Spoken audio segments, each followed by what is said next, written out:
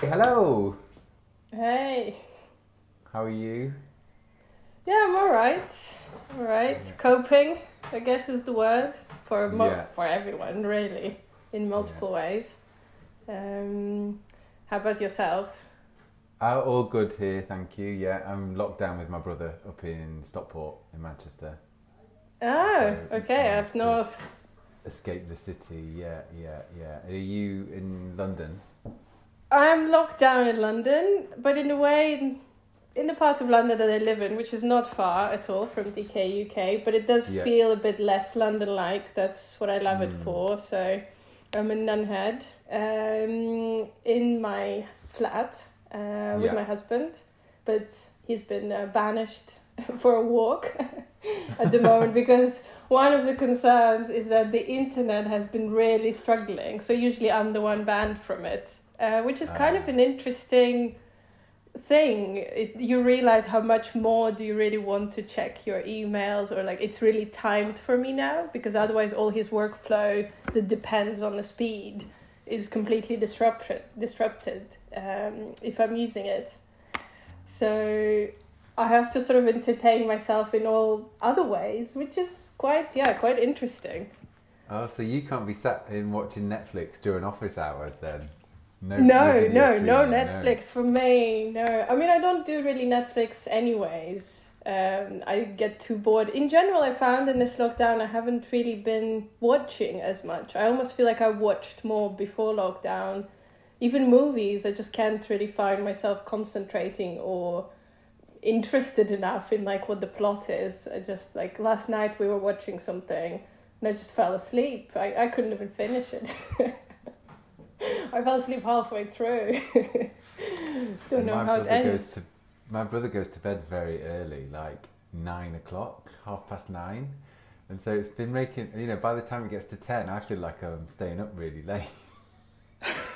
Yeah, that, but I think it changes your perception of time completely because I think in the beginning I went through the opposite of like not sleeping, waking up super early, uh, etc. And now it's the opposite. I think I can like sleep through the day if I really needed to. It's it's Right. the kind of reverse of getting out of the bed and you know doing something, um, which is the challenge rather than relaxing.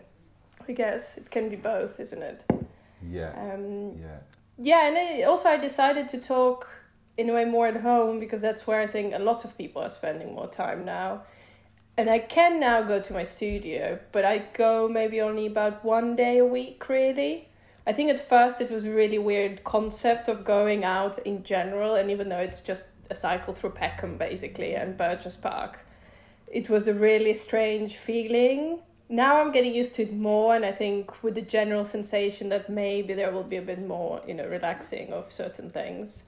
Uh, I think I might go more frequently. Um, but it has been an interesting experience of bringing work back into the house or concentrating on working kind of with the things, not necessarily that are given, but around you and thinking of it in a different terms and kind of your smaller world that it has become.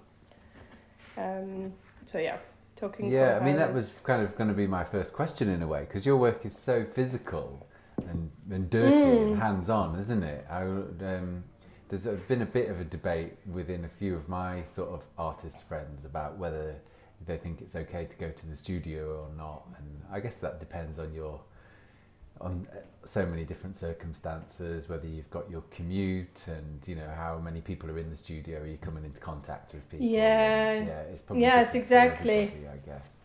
But um, Yeah, and also yeah. some studios remain open and some close, and mine in a way like you don't really come in contact with almost anyone except my studio mate, who we definitely have more than two meters between each other, but then we're still both in the same space. So then we tried to maybe like I would come in the morning and she in the afternoon, or and I would only come maybe one day a week because for me it's a longer cycle than for her. She just can walk in five minutes but I think it's more also the psychological, you know, aspect of like, is it okay to do this or is it not okay? Which I think Mm. can apply to a lot of things that we're all questioning, like what is okay and who decides. Like, I think the moral aspect that basically overarches all these daily decisions that shouldn't always have to be there bec- can become for some such a like yeah anxiety creator based on nothing sometimes Yeah. in a way Yeah. so yeah working from home can be yeah both alleviating in terms of that but then also i think in, for me the interesting thing though was as you mentioned with my work being physical i think i'm still working really physically and i have been doing this transition surprisingly for myself just psychologically even before any of this started so starting about january i was transitioning in my work in terms of materials and approach to it and kind of how i was considering it. So I have been off clay for a while, and only now in lockdown, I'm actually joyfully returning to it. Ah. um, and I've been working a lot with sort of textile, and I've started some courses before the place that I teach and work, Morley College, which has been very helpful and inspiring uh, to then, in a way, prepare me for this in some, you know, unknown way. Uh, so I've been doing a lot of uh, kind of tapestry weaving, as well as I've been pretty much now teaching myself more than anything sewing and quilting. So I mean, so far I only did one quilt, but it's my first one, so I'm very happy with it. And I might show it in a moment. But I have some sort of small tapestries that I've been doing. Maybe I'll have to move for this. Let's see. Oh, fantastic. This one was one of the first ones that I Oh, did nice. Yeah. and it's kind of you can see sort of the grain and the material and Yeah. it is very technical and physical but because it's it is an interesting transition as you say from dirty to something very delicate and clean how Yeah. much you can just work in any environment and you just set up on your table or you know anywhere really um, that doesn't require as much of equipment materials uh, all the dust that it produces so yeah so then i've been going and making more kind of all sorts of tests and just like sort of so these, weaving are different these just studies? yeah, they are, but Yeah. then I think I start them with sort of these ideas and you know, I that's another very complicated thing now. I I think that's why also I didn't really make a PDF of them, you know, to show Hmm. because I can I don't know how to really document them, what to do with Yeah. them, what you know, Yeah. because it's such a new.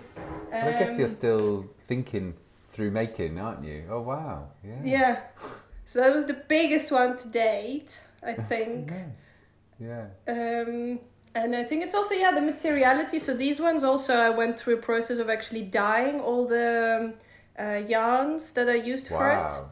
Um, Yeah. So there's a combination of wood, and this actually is the warp itself. So that's what creates the structure that you warp on the frame. Oh, Uh, and they're all dyed with cochineal, which I brought from Mexico last year. Um, which are these from what, little buggies. Cochineal? Ah. So there are these little bugs that live on cacti. Well, basically, they're pests.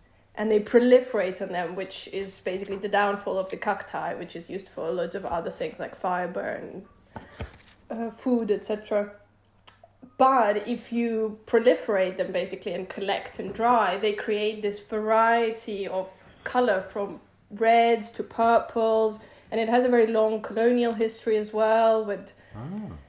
you know the Spaniards coming and exploring it and it becoming this super prize because it was one of the few natural materials back then that could replicate such deep bright reds which this is of course not because it's a very it was very home uh, dyed process um, but that occupied me for a while with all the cycles of like scouring and drying and dyeing and mordanting and all these new things um, which So what brought this Yeah, decision on? Do you think to um, get out of the studio for a bit?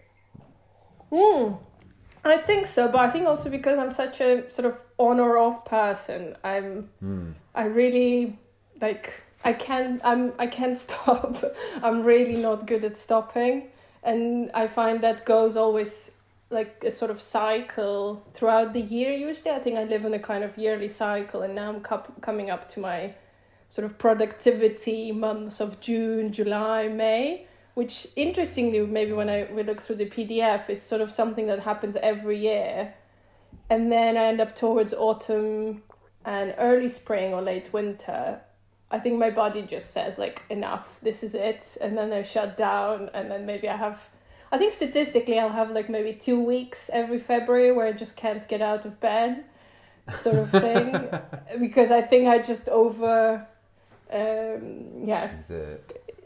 Yeah. Exactly, but just before that, I think I'll show the actual like what I've been working at home. So this is the next one coming, and it's kind of really wow. dense, sort of fluffy thing, and I can't decide whether to like cut side? it. Yeah, it's quite chunky, isn't yeah, it? I'm trying. Yeah. it's very chunky. Oh wow. Yeah. So this is supposed to be sort of the traditional way you make tufting. So when the carpet is not very tight, you know, sort of woven, but when it comes out, so normally you cut these afterwards and you can trim it sort of as Yeah. close as you like, where the fiber comes out facing you. But Yeah. I can't quite make up my mind where, well, when I'll finish, maybe I'll know, but I can't quite decide whether to trim it or not. And another side, which I always, I think anyone who starts is fascinating, is the back.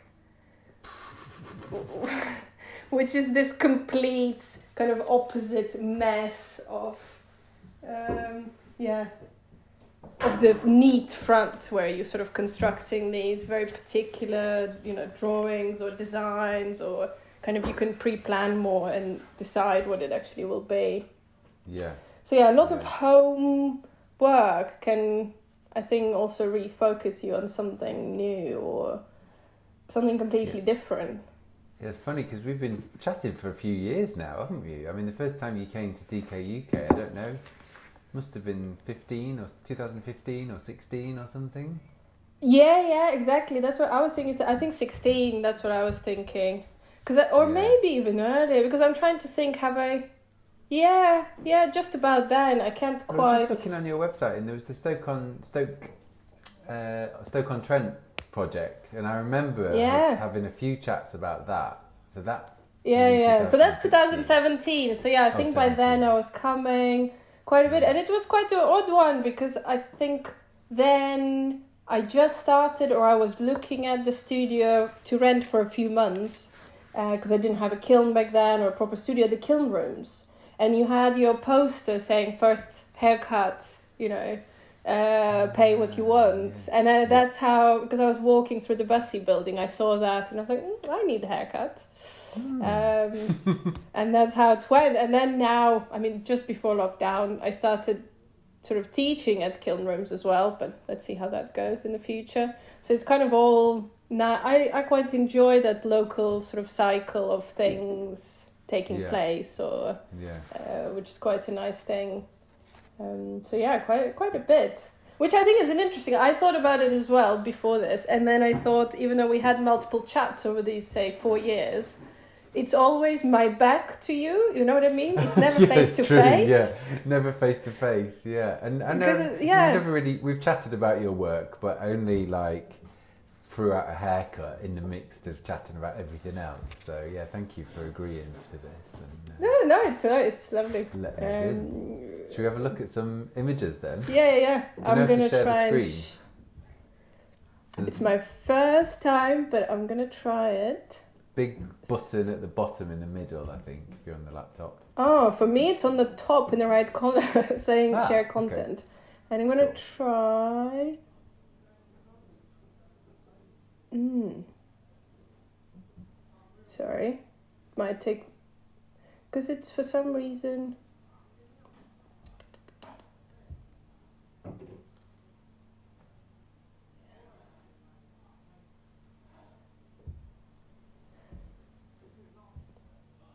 Mm. It's just offering me for unknown reasons to record it instead of share it when I say share. Um, Share. sorry then about do- this. Then you have to double click the. It brings up a few different windows, I think. For me, it brings out a long list, and I'm saying screen, and when I go screen, it says record uh, the conversation, which is just a moment. You might see my drive for a minute if that's Cool. going to happen because it's not letting me share the full. On mine, there's a sh- finger a shortcut which is um, Shift and Apple and S. Shift Apple F. S No. for sugar. Yeah. No. Oh. Some. Yeah. This is very odd. Sorry about that. Because it clearly says screen, and I have my PDF on my screen. Oh, okay. Wait. How is. There you go. Yeah? Did it do Yeah. it? That was it, and then now it's Uh, gone back to the camera again. Okay. So is this showing you my screen? Uh, it did for a minute, and then now it's gone back to camera. There you go. That's done something. Mm, yeah, it is on.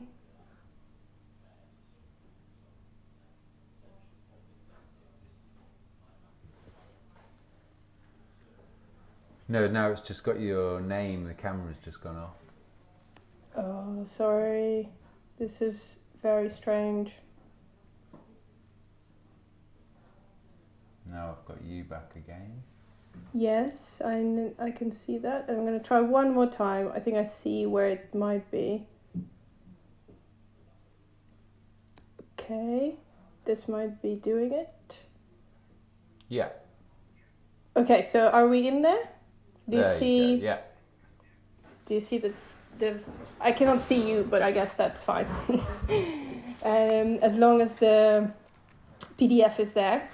So Nice. I decided to yeah to just sort of, I guess it's a, you know, an overview or a kind of compilation of things because I think I as I mentioned I had this big shift or sort of change I think, which is also another thing that will be a recurring theme looking through this PDF in the last year where I go through a kind of cycle of new things and productivity and then a kind of stagnation and then maybe depression in a way um, and uh, as in in terms of work and stuff. Yeah. um, and this was a sort of print actually it's actually a printed uh, catalog that i was working with a french graphic designer called jean-philippe um, bretin who lives in france and we worked together on sort of making a mini retrospective a sort of collection of works.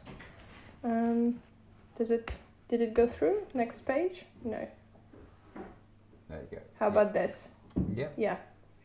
So it goes through uh, multiple years, maybe spanning, maybe there's some works as old as 2014 of sorts, uh, but sort of trying to organize it or link a lot of different ideas and uh, projects and thoughts um, that are all tied together by this, uh, you know, materiality and working with hands and uh, tactile language, as it's called. Uh, so I'll just go through a few. Um, and this is actually um, a project that maybe a lot of my current work or uh, sort of recent three to four years work started or linked to, and it's cultural landscape. And I actually did for my grad show at the RCA. Um, So when, long where that, that? So that's 2016. 2006. Uh, yeah, 2016, and that's where it was shown in different ways. But actually, it's also a project that then developed over multiple years, led to my solo show, first solo show in France in 2017, where I developed a sort of wider body of work based on a similar idea, and I think keeps on coming back. And now, actually, the tallest sculpture that you can see there, which in this current shot is unglazed. Um, now in its glazed form uh, in a museum show that's been postponed till next January. Uh, but is you know in a Ghent Design Museum, which is a really lovely show, all about color and use of color. They somehow curatorially link it to Van Eyck and his paintings. But I think in general it's a really comprehensive and quite impressive collection of uh, works, um, all to do with the field of color and its perception and its effect on us and sort of from natural dyeing techniques to you know all these other things and the color is a recurring thing for me as well um, particularly in terms of glazed surface and maybe that's where the link with textiles really comes forward Yeah. from. Yeah. And what sort of size is Um, the big one? Is that sort of human size? Yes, it's just slightly taller than me. So it's I think it measures like one I mean I'm short so it's uh, it might not be so tall for you but it's about 165 I think. Yeah. Um yeah, just under 170 I reckon. I, I don't remember all all my dimen- I hate writing dimensions of work, you know, when you have to do all the cataloging yeah, or yeah. submissions and it's like oh who cares but it is important the scale and it, that's an interesting one as well because i do take documentation of work more seriously over the past years but it's always quite a difficult thing to express the relationship of the scale um, you know in the photo and in reality and how do people relate to it and how can you really uh, portray it i guess um, without Yeah, just putting a human really- walking by. something so physical and sort of visceral as the ceramics, you know, it's Mm, you know the enc- the encounter and therefore its scale to you as a, a viewer is very Yeah, hard yeah, yeah. a photograph, isn't it? Yeah. yeah, the scale and material, but even in real life, I remember I loved really quite a, quite a lot. But I do have quite a few works that will figure later as well. And this one, in its glazed form, I showed it. I think just after graduating from RCA in this. What is it called? It's Barbican Trust or no? Where did I show it? Something like that, like a you know a young grad big application show sort of thing. I think it was oh no ingram collection i think it was or something like that and there was quite a few uh, other pieces and a lot of people in the show looking at the piece they were not able to realize that it was ceramics they thought it was plastic uh, and they thought it was basically a huge plastic phallus that they thought it was and uh, which was really kind of revealing but hilarious as well for me because that's not at all for me where it was coming from. But then also since one of themes for me is this maybe historical and neolithic and you know primitive forms as well as multiplicity of meaning and kind of um, uh, in within the ornament or within a shape that people can see. So i mean i guess uh, says something about that um, uh, so yeah telling the materiality i think can be hard already in real life and then in the photo even so much more so Yeah. um, Yeah. That So purple one the looks like a bowling ball sort of surface. oh yeah which one sorry i already skipped Yeah, sorry, yeah, the, um, the purple one sort of got like a Oh, yeah, bowling yeah, ball type patina on it. Yeah, yeah. Yeah it could be but also i think which you can see in the next one if you see it now Okay. yeah. um, the sort of close ups and the world that happens within that glaze environment, which is kind of a world of its own. Um, and I definitely relate it a lot to painting uh, and the process of doing it because I refire my works few times usually.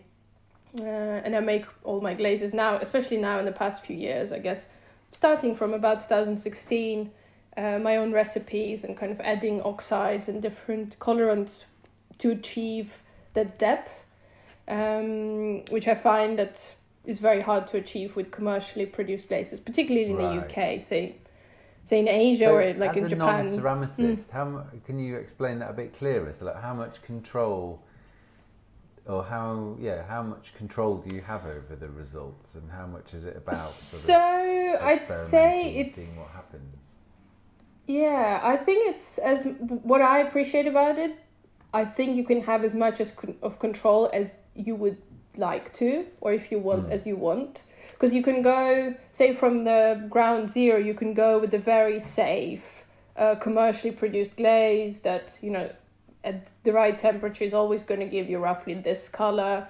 And maybe there will be some variation depending how it cools down or whether your kiln is new and or old and you know the elements whether it reached the right temperature maybe some crystallization or you could be completely you know on the other scale and just like oh these are some materials that go into this uh, formula and you know I'll just mix them and see what happens.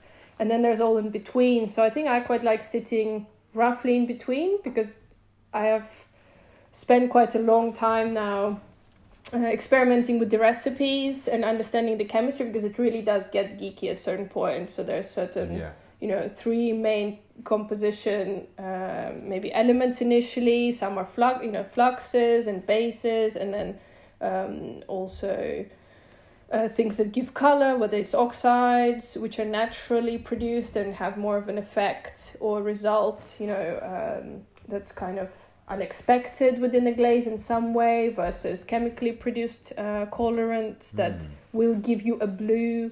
But then there's a whole plethora of unexpected when you start layering those recipes because maybe one has, you know, a flux that melts particularly at this lower point uh, versus the other one has more frit, etc. So I think it's that sort of relationship of actual technical chemistry materiality as well as the physical effect. So I will know it will roughly melt, it will have blues and some purples, etc. because I put a manganese and a cobalt and also it's, you know, heavy say um, on uh, feldspar like say potash feldspar and there's multiple feldspars um, that you can explore and all of them will have very different uh, sort of pinpoint effects as well. So you can you can spend just years just on that. Wow. Yeah. for sure. Um, but yeah that's that's the fascinating part about it that you have that endless amount of uh, information to i guess keep your brain occupied which is i'm realizing more and more in this confinement exactly what i need there's a Yeah. certain reasons why we do what we do and why it draws us to it i guess. Um, so yeah and this was a sort of the glaze bit we're looking on the right. It's a close up of the things on the left and it's a composition of three sort of columns um, uh, called orthostat and uh, i shown them this january uh, the the last name of it, time? They were made last june. So again my kind of uh, cycle and um, they were shown this uh, London Art Fair in um, January with the White Conduit Projects, which is a lovely, uh, very intimate space by uh, Angel. Um, and they were supposed to actually go to a show which was supposed to open in on June 19th in a ceramic museum in Faenza, Italy, which is known for its ceramic tradition and history. And they put on quite contemporary, amazing ceramic shows um, but that has been postponed till next year.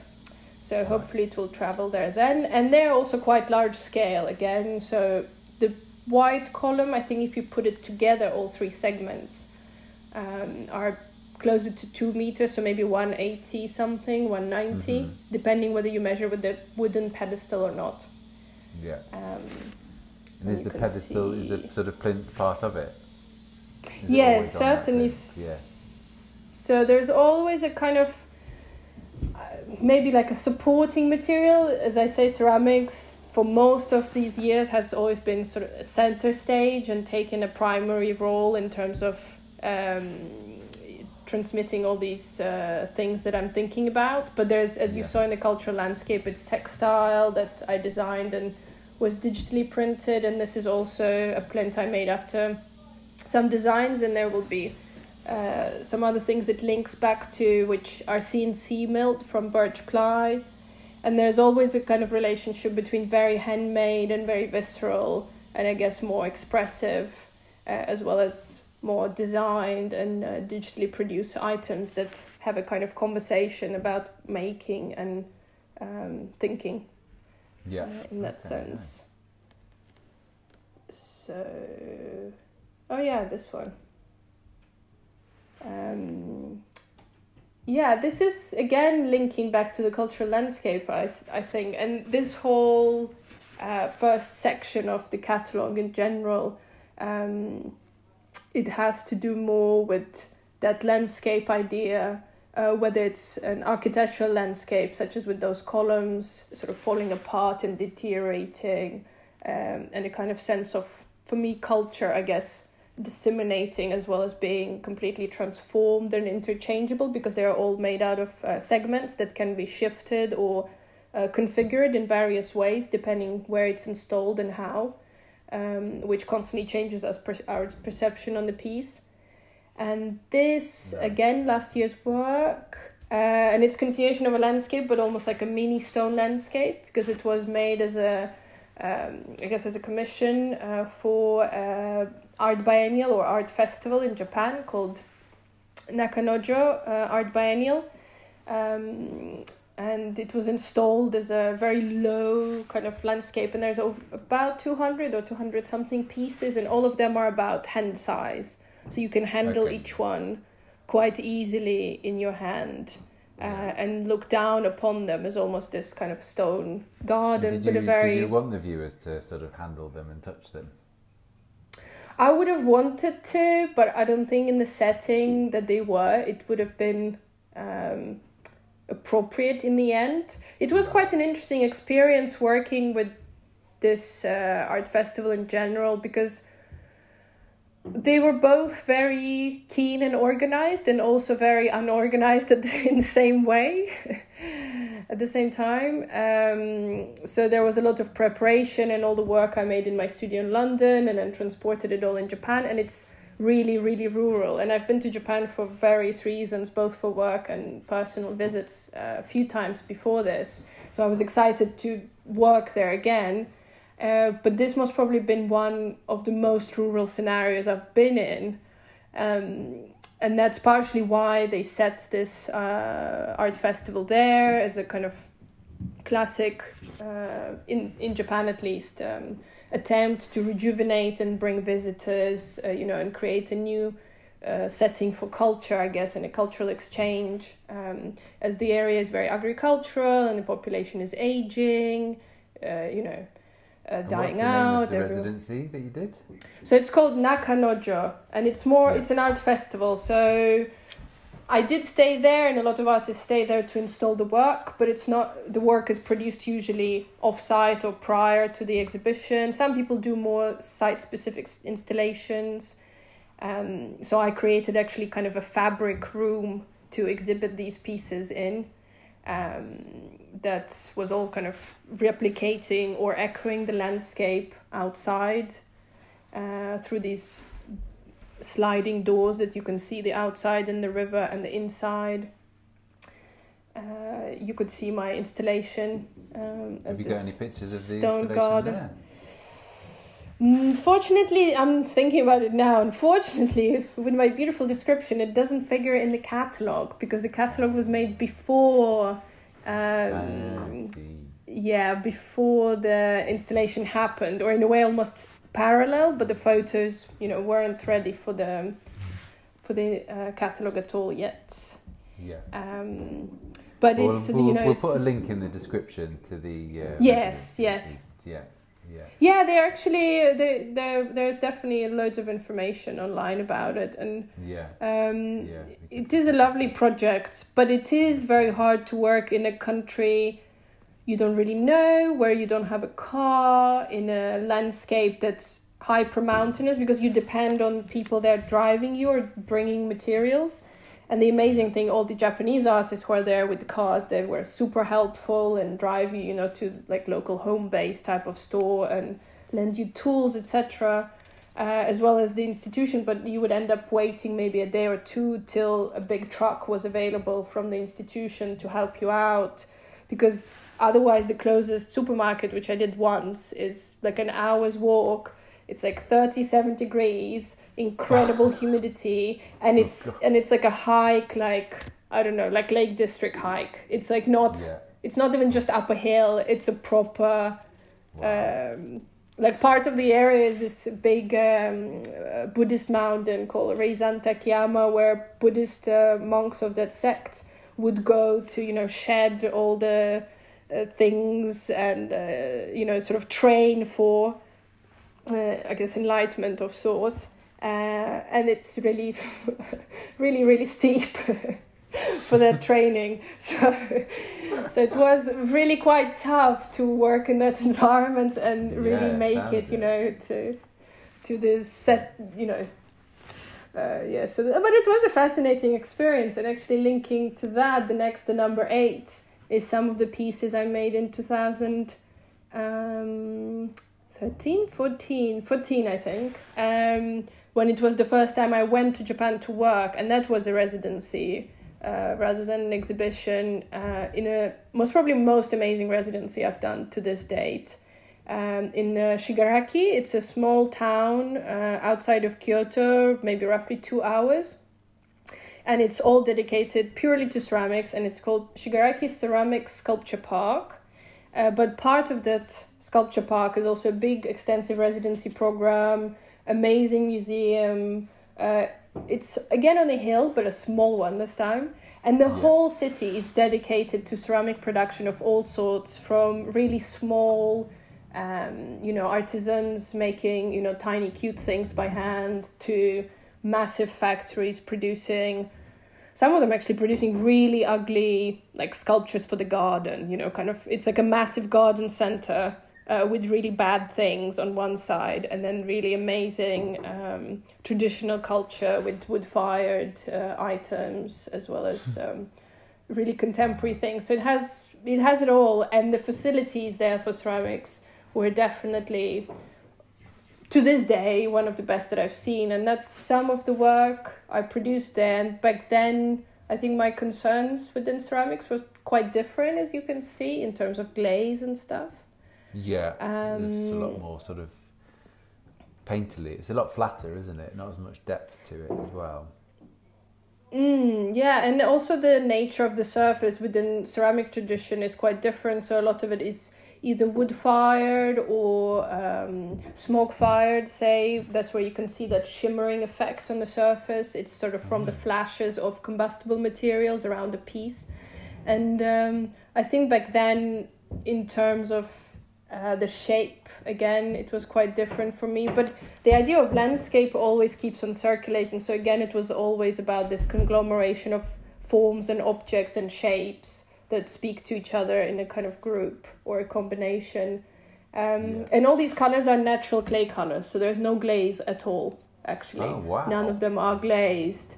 Uh, so they're all just fired differently from different clays um, and completely natural in that sense. Wow, that's um, amazing so for example the red piece and the purple kind of t-shaped one you see it's the same clay but one is fired in uh, oxidation where oxygen mm-hmm. is freely available in the gas firing and the other one is uh, fired in reduction where you shut off oxygen at a certain point in the firing uh, at the end uh, where it brings out completely different chemicals to the surface yeah. Um, I'm just so, checking yeah, time, and we've been going for 39 yeah. minutes, so um, Zoom might kick us off soon. I don't know if there's any. well, I'm certain I can talk forever. Down there.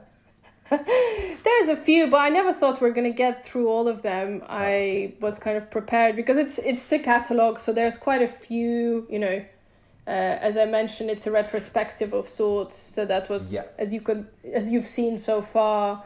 Uh, there were projects from last year and there were projects from 2014 so in that sense, um, that kind of mix um, is what I was after because I think it's quite nice in these times to reflect back on uh, where we all come from. I guess.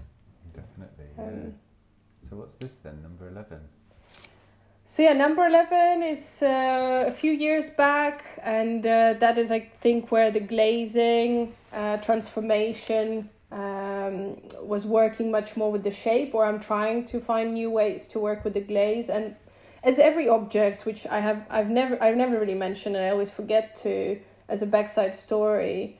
Um, there's always content behind. So, say this is actually inspired by a Chinese uh, traditional garden furniture. Even though the scale of this is quite small, you could hold it in your hands.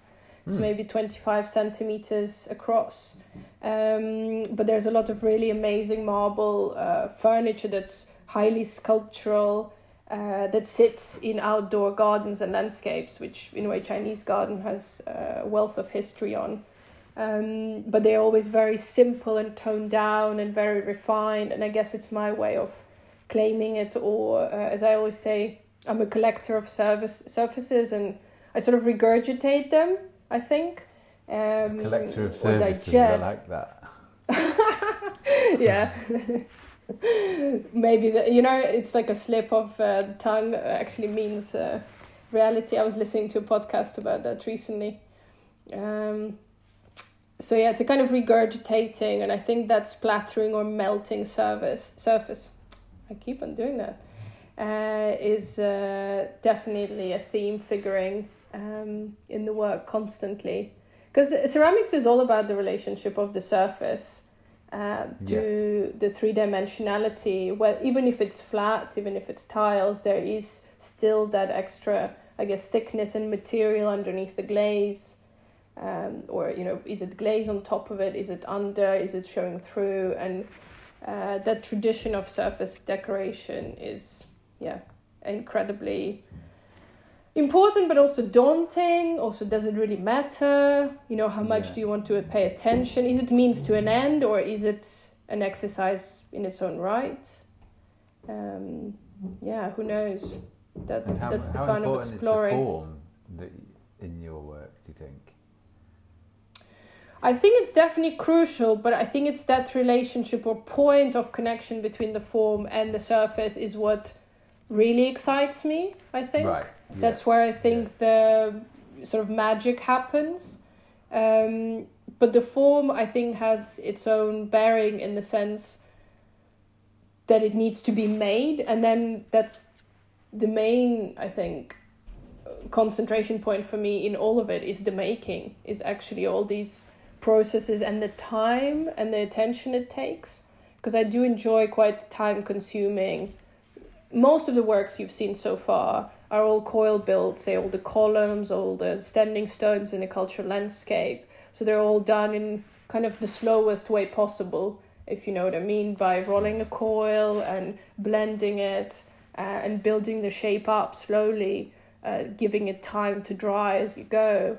Um, yeah and say that tall piece it will take two three months just to dry and a few months maybe wow. to make yeah. um, if you want to proceed because it's completely hollow and you need to be able to give it enough time for it to support itself without collapsing and have enough control over the shape and for it to dry on time properly without any cracks i mean again multiplicity of problem solving in there um, and I think that's the big connection with the weaving that I showed you at the beginning is that mm. sort of weave of the clay. You roll out these coils that then get entangled and intertwined and become this one whole um, entity, uh, one yeah. sculpture.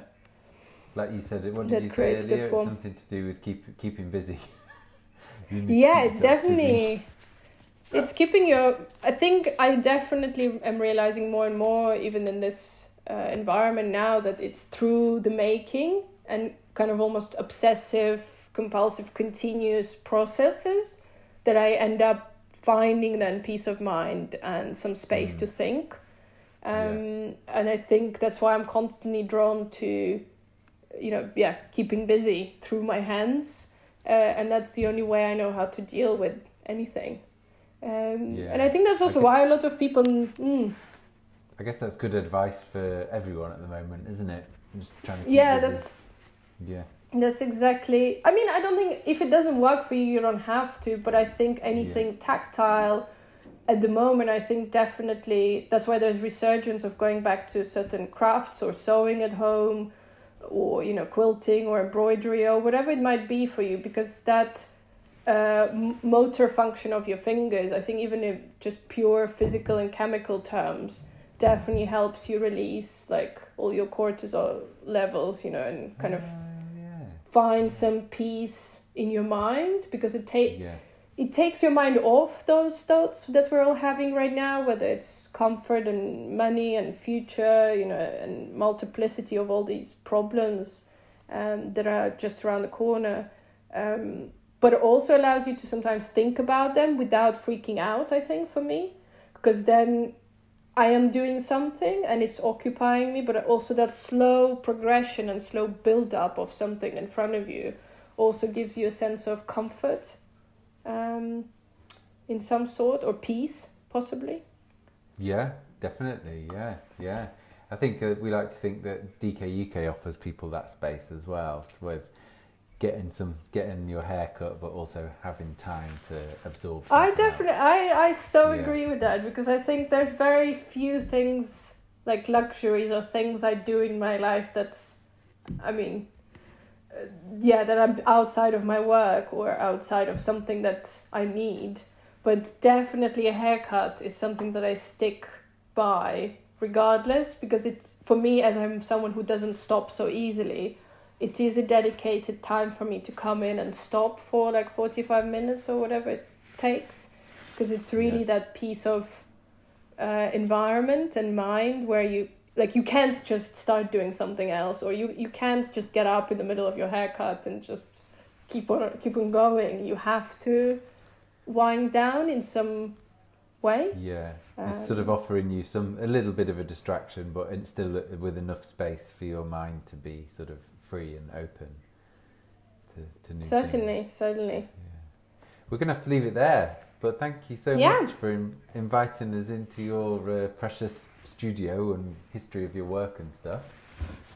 thank you thank you for to listening to my ramble Oh no, it's very interesting, and yeah, so nice to see your work after all these uh, years, properly. yeah Um, I Thank you. You're going to come back on the camera so I can wave.